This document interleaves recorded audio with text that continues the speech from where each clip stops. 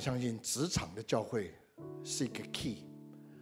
纵然我不会说这是唯一，但是我觉得这是绝对不可以少的一个 key。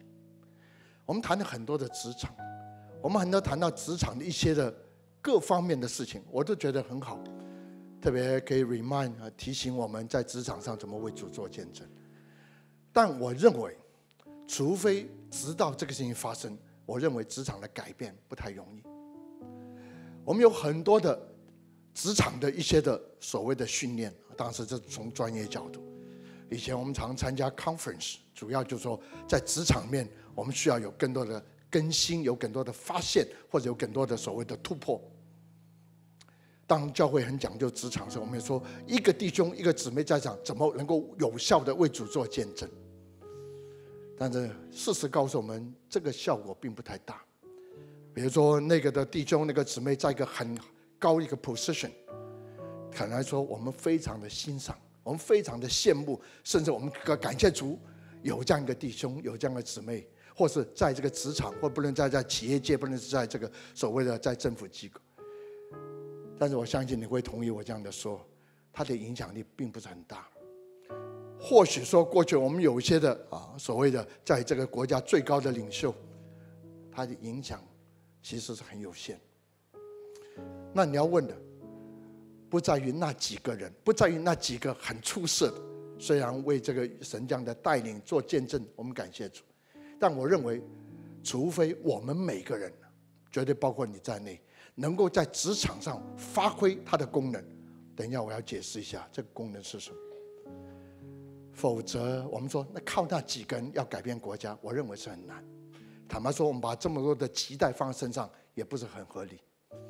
神兴起的不仅是那一个人、两个人，其实神兴是一个叫做一群人，那个一群人叫做教会。教会从来不讲是一个 building，教会从来不讲是一个所谓的家一个机构叫 organization。教教会永远是讲一群人，这群人的特征 by definition 叫做一群被呼召出来的人，a called out people。这群人被神特别的呼召，从某个角度是拣选，从某个角度是恩宠。Favor 在他们身上，从某角度是一个改变世界的这个责任，也放在他们身上。今天晚上，我想虽然是经文啊蛮多的，不过我想我不会用很大很多时间，可能这是我以后常常会提醒。特别在去年也好，今年也好，特别今年啊，在这个所谓游群呢，这个从对岸来的一些的职场的，这叫月色恩高哈，我们在讲的题目时候。我就越越清楚神给我们的定位是什么。我们过去说在大陆有叫做三支教会，有有家庭教会。后来人说我们应该有第一个叫做第三教会。这群也不是三支，也不是家庭，这群人坦白说蛮多是从海外回去的，包括大陆的人，蛮多是留在城市的，所以这样我们就叫城市教会好。因为这个对。城市改变，因为对整个国家，特别对乡村的影响力也是很大。不，我越来越觉得，不光是城市教会，我越觉得应该给它名字叫做职场教会。OK，今天晚上是从这个题目我来讨论或思想，然后我真的很迫切的希望弟兄姊妹为这个来祷告，让神对于这样的一个的呼召也好，在我们这群当中，让这个呼召不只成为一个理念，更不要成为一个 talk。我觉得观念很重要，我觉得论述很重要，但我觉得不执行化，没有任何事情会发生。怎么执行？这是我们以后要努力。我请大家看一段经文，是在旧约的撒加利亚第三章跟第四章。撒加利亚第三章跟第四章，所以我要选的一些经文，否则太长。撒加利亚书第四章一到五节，这是先知撒加利亚。领受了一个意象，就这群人从巴比伦被掳出去以后，现在回来，那神给他们一个 favor，坦白说，神给他们一个机会，甚至神给他们预备一些的材料，意思说他们可以回来重新的建殿，是一个很不得了的事情。坦白说，是一个 miracle。所以呢，就在这种有一个叫做所罗巴伯叫省长，有一个叫做祭司叫约书亚，神兴起他们两个人成为一个负责人。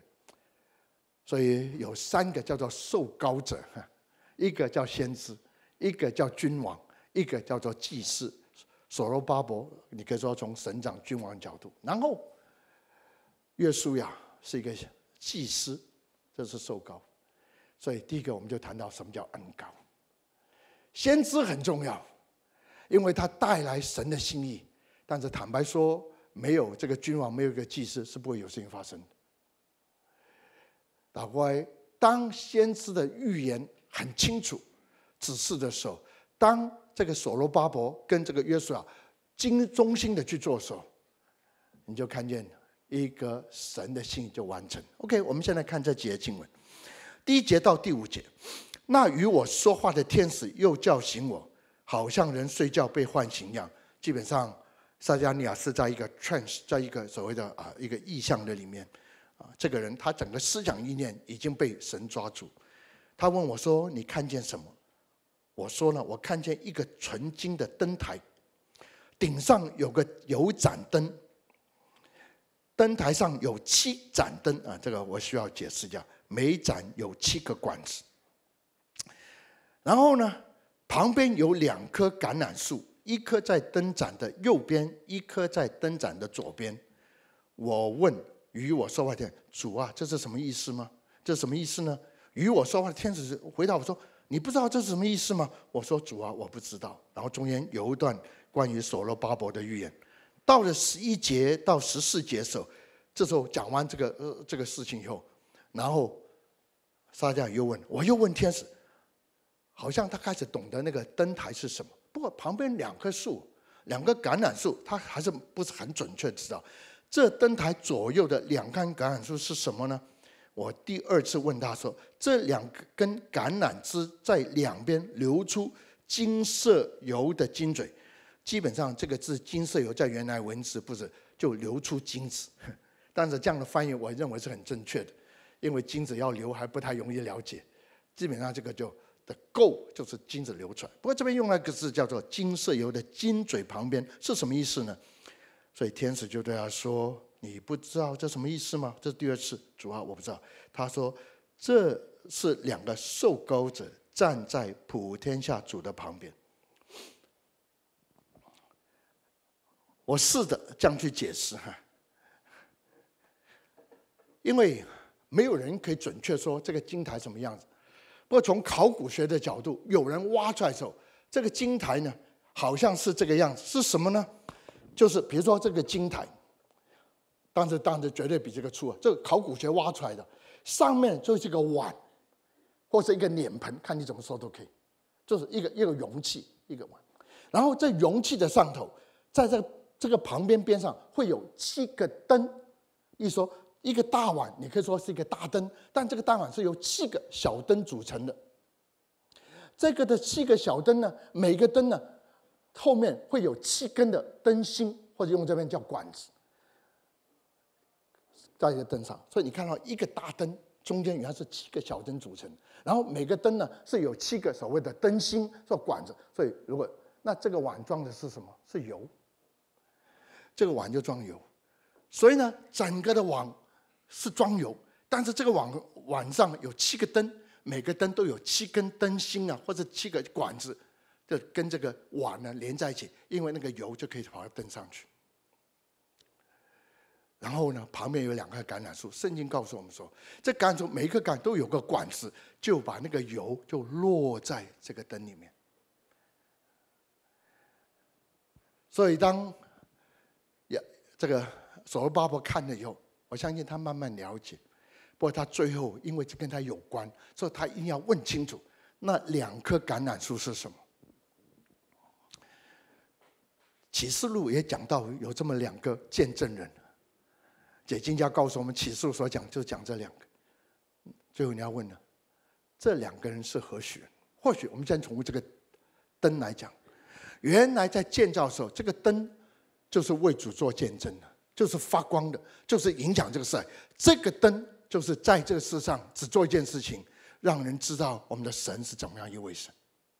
原来在这个灯的里面有许多的，或许用了七代表完全数字，所以呢，七七四十九都是完全数，所以整个里面都是一个个灯呢，都是完全，什么都完全的。但有一样是绝对不可以少，就是点起这个灯的油，这个叫做恩膏。这个恩膏从哪边流下来？从两棵橄榄树。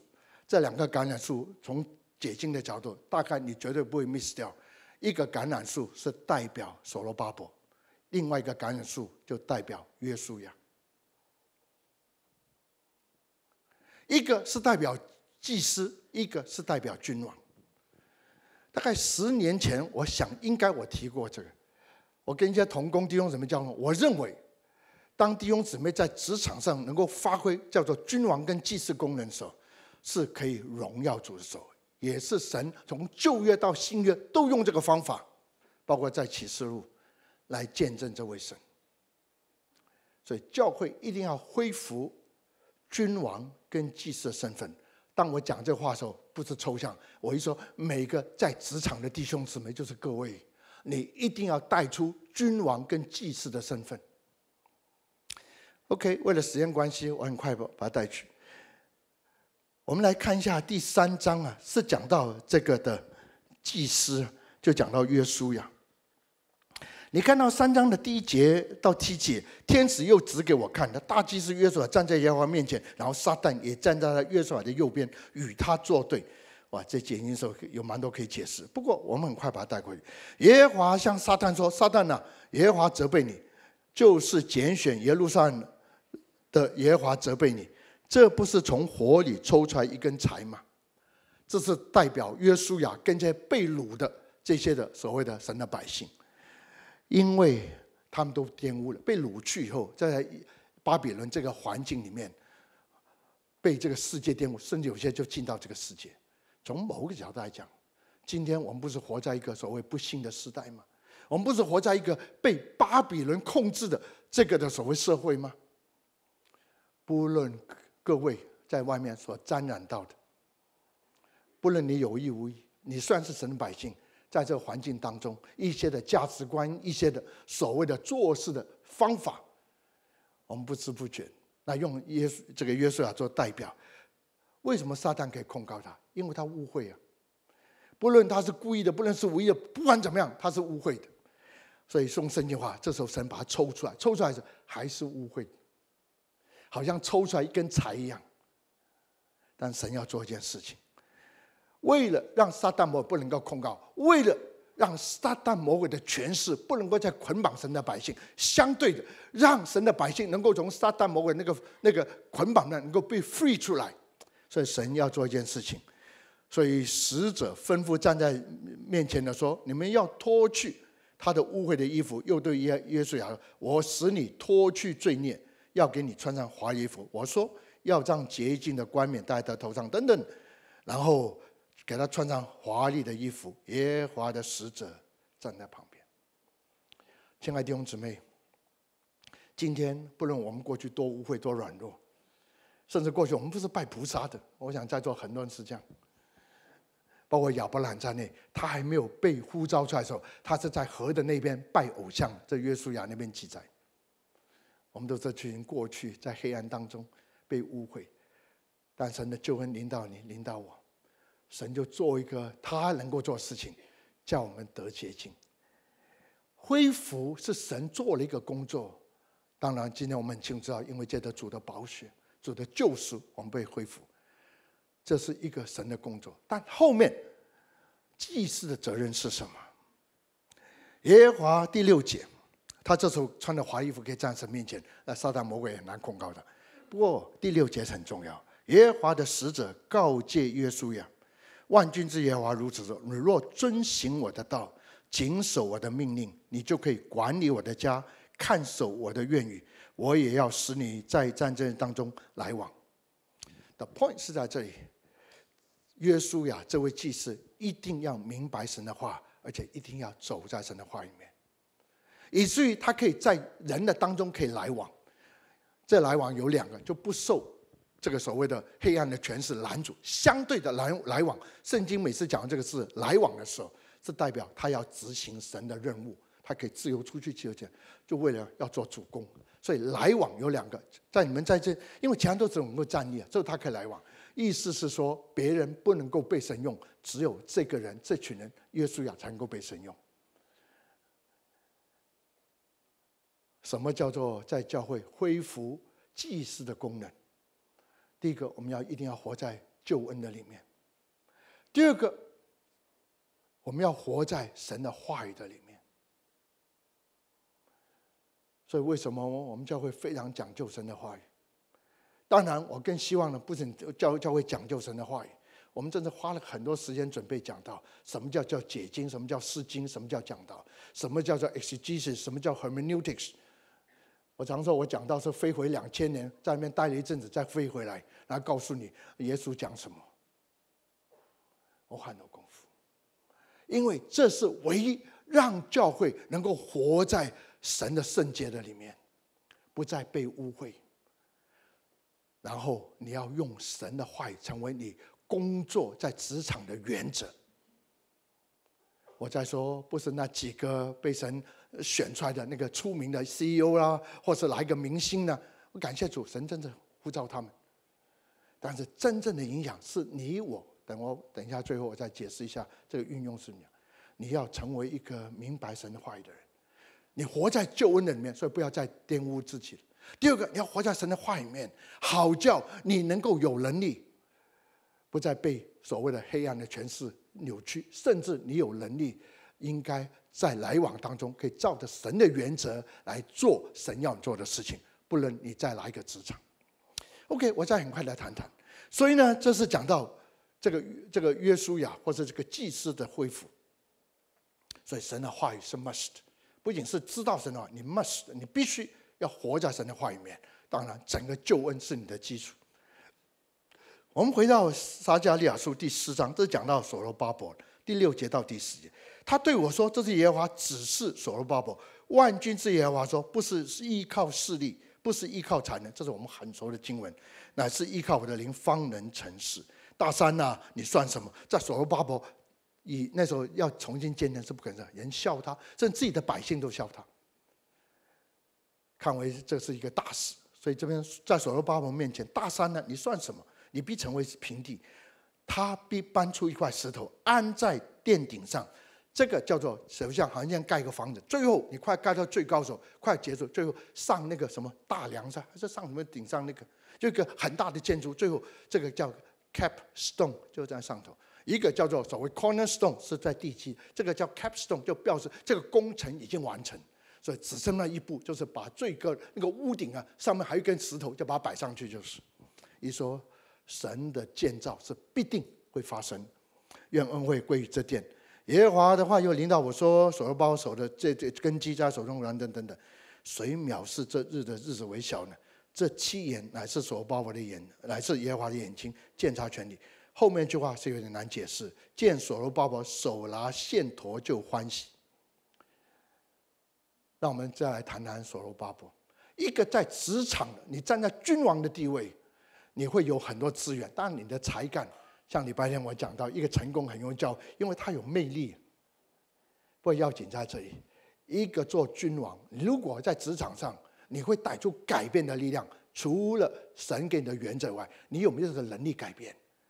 这个能力一定要做一件事情，不是靠势力，不是靠才能，一定要学会这个事情。势力这个字是讲军队的打仗，才能不是才能这讲个人的才干，这两个有分别哦。所以势力就是军队打仗那个 might，那底下就做工那个 energy，那个那个叫所谓的 power，绝对不能够靠这两样，才能够改变这个世界，要靠耶和华的灵方能成事。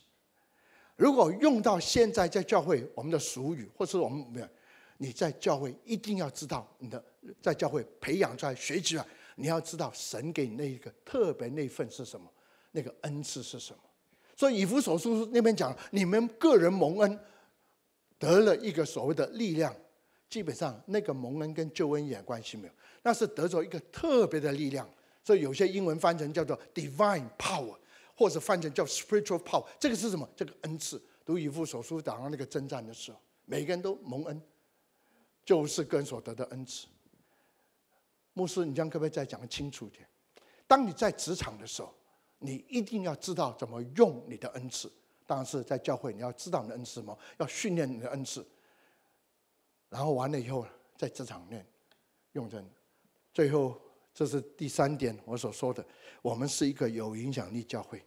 第一个，教会一定要知道这个这个这个有影响教会，它一定是一个所谓的这个是这这个所谓的啊这个祭司跟个君王。那这个如果失去，怎么恢复？其实这些年在做。我记得讲过这样的一个分享过这样一个信息，是在二零零八的九月，不是我故意找的。不过我突然发现，我在二零零八的时候，那时候我还在做执行牧的时候，我就思跟大家一起思想过，怎么叫做职场。不过那时候还不会知道用职场教会这个名字，但是那时候我非常的清楚知道，我们的教会每一个人都要恢复祭司还有君王身份。OK，让我这样的说。如果你在这个职场，你是做医生好，当然你可能是外科医生，所以呢，你进到那个病房，哎呀，伯母啊，晚上就是要开刀喽。那伯母说：“是啊，吓死我了，我从昨天晚上就到现在都没睡着觉。”你就跟他说：“你赶快睡觉休息啊，不用怕，不用怕。你的医生，你的医术，这个伯母百分之百信靠你。不过他是怕，那怎么办？你要用你的恩赐，在这用的恩赐为他祷告，为他祝福。”哎，他还睡着了，可能到病房他还没醒呢。我常常用这个观念：如果有一个弟兄或姊妹你在教会，哦，我在灵粮堂十几年，那我一定会问你有什么服饰啊？哦，我是做诗班的，我做招待。我说不不，我问你你的服是什么？我是做诗班的。牧师，我跟你讲好几次，我在跟你说，在教会的服饰不叫服饰，那个叫做家事。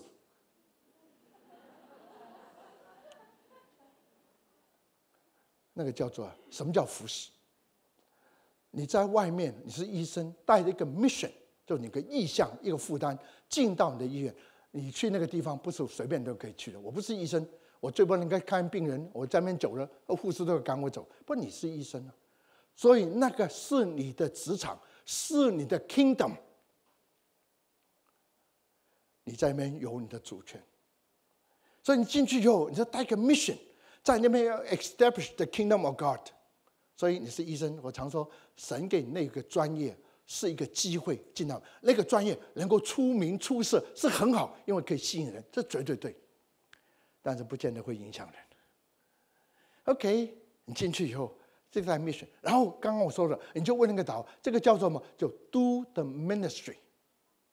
圣经讲到 ministry 的时候。不是靠你的天然才干本领做一件，是靠着神给你那份，那个叫 call out people。神要你做那个责任，他一定要把那个完成那个责任，那个叫做恩赐，那个恩典，那个力量给你，叫 serving grace，跟 saving grace 是不一样。OK，进到里面你就问那个祷告，所以基本上你带这个 mission 去到学校，去到医院，去到呃行行政院什么，你是带 mission，然后在那边有机会就 do the ministry。亲爱的弟兄姊妹。I call you a minister，你跟我没什么两样。最近有机会碰到啊，在一个教会负责一个弟兄呢，负责一个机构里面一个公司，一讲你们都知道他是董事长。当我进去的时候啊，有机会，所以他主要的呃有一个就就一一段时间跟他几个主要的所谓的这个同工啊。啊，当然做基督徒有有这个，我们再去啊，所以我我有机会跟他们一些分享一些祷告。不过那天我去的早一点，他司机来接我的时候比较早一点，所以我就跟他聊聊，他就讲讲啊最近的公司的事情哦，一些业务啊，怎么有些需要改变啊，一些突破。那莲花禅呢，因为这些他是进到里面一年多，所以很多的人还需要些调整。我大概听他讲了十几分钟到二十分钟，我还有笑笑，我就跟他说：“你跟我做没什么两样。”你在公司处理很多事情，我在教会处理很多事情。后面那个后花园要加盖，就让我头发也掉了一点。不过其实我做最多的，你在公司叫做管理这些人，我在教会叫做牧养这些人。如果大家听得懂什么叫职场教会，不是你在那边有个高位置，哎，很很很光耀啊，给人家羡慕，很好为主专业。No No No，职场的功能。是你在那个地方做牧养的工作，以至于你底下有十个人，你就影响这事；有五十个人就无有影响这。如果底下有一百人，你的牧养就是你要知道，大卫我们都知道他的特色，除了会跳舞弹琴以外，他特色是什么？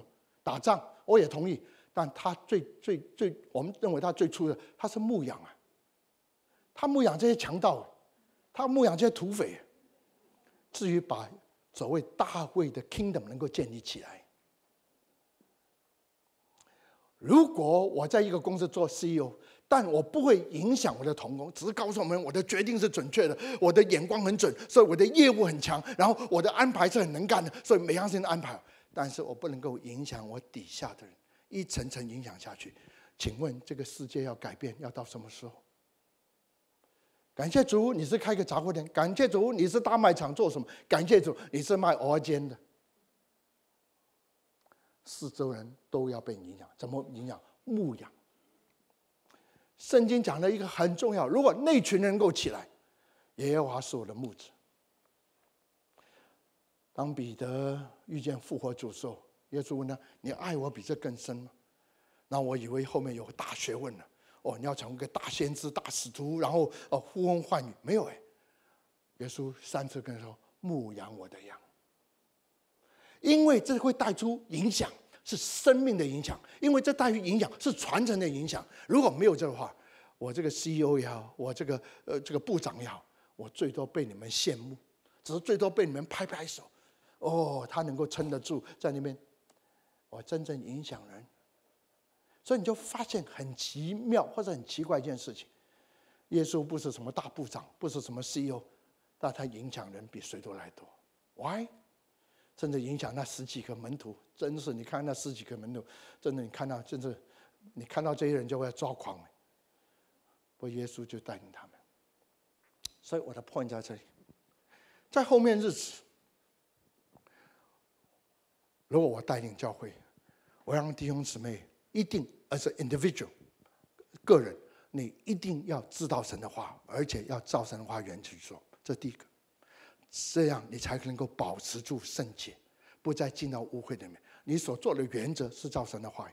那第二个，你要带出一个叫做属天的能力，叫做恩赐。你需要这样的恩赐。恩赐不仅是用在教会，我绝对不反对。但是恩赐绝对要开始要用在你的职场。你相信在职场会有神迹奇事发生吗？你像在职场，就是你那个看到那块布，十几哇多少多少这十几堆的布啊。十大概十五还是十十四，我记不太得，都是有问题的。其实它的它的那个品质没有问题，只是那个 pattern 错。你相信你可以把整个反转过来吗？以至于有问题的时候，你的老板跑来问你吗？以至于当你讲一句话的时候，我负责不是生这条生产线，因为讲话的董事或者那个工的厂长下来，要整个生产线改变吗？甚至到个程度。有一个我的同事，也是一个部门的主管的儿子，他说：“Jim，你礼拜天都会到教会，对不对？”我说：“是啊，这是我去的地方。这次你去教，可不可以为我爸爸祷告？因为他爸长个老牛。”亲爱的弟兄姊妹，这是我对各位我的一个期许，这是我的努力的方向。我也期许看到我们教会每个弟兄姊妹，你的身上有两个身份。一个叫做祭司，一个叫做君王。你进到那个环境里面，你一定要相信，只要那边待几个月，那个环境改变。你只要待几年，整个的部门全都翻转。那我其实我做事没有太久，我读完研究院大概做事大概七年多八年，我就做传道人。我怎么这样的说？神恩待我，这是绝对。但在恩待面，结果是什么？我甚至说，这个东西这样的一个 project 不应该在这个厂做。其实我是在这样，我应该送到从 Boston 啊，从这个这个这个 Lower 就是 Massachusetts，把这个布送到 North Carolina 那边去做。有些人不服不服不不不同意啊，但是跟你有关的人觉得哦，那个跟跟我没有关的，怎么来负责这个负来来叫我们做这个？但是当我的老板听完以后，厂长听完，整批布。整个以后那个那个的东西，只要是那个 pattern，全都运下去。我突然发现，当然那时候也不太懂事了。我觉得怎么会讲话大家都听？连厂长真的有一次出了问题以后，那个退货，还有红他退货以外，他已经做了这个，还要我们赔他钱十几个人，从买原料到设计到推销到 marketing。我的老板找我去，那个长桌子，他坐在这边，因为他坐中间嘛，只有一个空位，就是他对面。所以问问这个，哇，吵来吵去，不是我的责任，是他责任，那不是，好像打乒乓球一样。我在那边看了看，最后他受不了，他一拍桌子，就讲粗话。他是 Georgia 的人，也是读也是读研究院啊，那出来弄，所以我们有点可以聊。他看到我在他对面，他突然跟我鞠个躬，他说：“Jim，pardon my language。”对不起，我讲，他就坐下来，就说：“那你听了半天有什么意见吗？”我真的没有夸张，我只是讲叫我认为这个问题是这个问题，聚会就结束了。那个货就没有退了，而且继续跟那个做生意。我不太讲这些东西，因为这好像变成从个人角来夸口。但是当我看到这个地还在这样的拖不改变的时候，我实在不能不讲一些转化这个地是一个有影响力的教会。这个教会是每一个人的责任，不是哪一个人责任，也不是教会教会当中哪一些是部长啦，或者是 CEO 的，是我们每个人的问题。你一定要相信的。我也讲是也好玩，让我们听听就是。我那刚出来以后，有一次我去去检查一些东西，那所以跟一个一个部门的一个女班长啊，她年纪不大，她都可以做我妈妈。哦，他每次跟我要就跟我聊一些事情啊，我跟他谈一些事情。哎，有一次我说我要调个部门，所以我就用老美的话，哎，I I I come to you to say bye bye，OK。然后他就，然后就哦，我我还怎么样？他很不舍的。然后就是，然后你不跟我说一声 good luck，呃，老美都喜欢说祝我幸运。他突然转过身对我说，Jim，you don't need luck，you don't need luck。亲爱的弟兄姊妹，我认为你有这样一个理念，有这想，而这不是想想，你有这样个把握，我真相信你在职场那个地方会改变。我真相信台北的职场会改变。两个责任，你是祭司，不仅要祷告、足坛，都对，都对。但是你一定在你的职场要用神的话语处理每样的事情，神的原则。第二个，你都对，你都尽力了。他真的说，爸爸很尽力哦。他是拿一个绳子，就量房子，那个叫做大事小事。不过他就是大事，包括小事，他都不靠自己的力量，他靠谁的力量啊？他靠神的力量。两个恩高要不断的留在教会，这两个当然先是不断的提醒，不断的鼓励，不断的有一些所谓的引导，是必须的。所以三样恩高凑在一起的时候，这就成为一个有见证的教会，就成为一个见证神的金灯台。求神来恩待我。我今天讲的比较多一点。今天我相信我是被神的灵摸着一下，所以前面也带的比较久一点。我一定要把时间啊给样。我们可以有些祷告，我们自己开口，我们站起来，我们重新回答。感谢主，让我们在这个灯台里面，我们是中间一个的灯，啊，不论你是第七个是哪几个，就你是中间。感谢主，你已经知道要怎么把那个灯芯啊放在油里面，放那个大碗里面。感谢主，神给教这个教会的油是不断的。两方面，一个是什么呢？一个就是这个约书亚的，叫做祭祀的油；一个叫做什么？叫做恩膏，叫做所罗巴伯的恩膏。让我们知道，在我们的职场上，能够产生一个转化的能力。为这样的恩典，为这样的使命，为这样的责任，我们在神面前不仅感谢，我们在神面前也要站敬。如果我们不能够改变这个时代，亲爱的弟兄姊妹，我可以大胆说，没有一个人可以改变这个时代，没有一个经济的果效，没有一个经济 system，没有一个所谓政治 system 可以改变这个时代。只有你，只有我，只有教会。神的原则跟神的能力是必须的。我们开口同声来祷告，求神在我们教会，在这两方面，就看到有更多的恩高流到我们的当中，也更多给我们有机会用这些恩高来改变这个时代。我们开口同声来祷告。